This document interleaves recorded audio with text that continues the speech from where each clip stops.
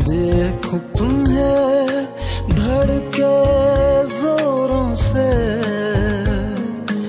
ऐसा तो कभी होता नहीं मिलके गैरों से।